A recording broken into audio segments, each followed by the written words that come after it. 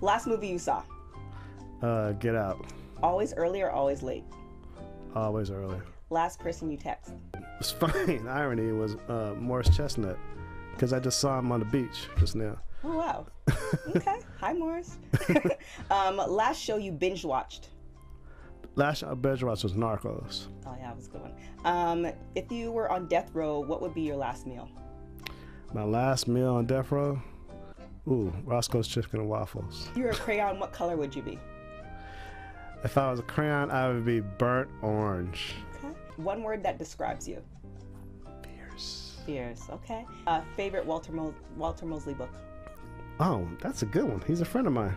Um, my favorite Walter Mosley book is uh, Cinnamon Kiss, actually. Okay. Favorite Tupac song? Uh, keep your head up. And favorite Spike Lee film? Do the right thing. There you have it.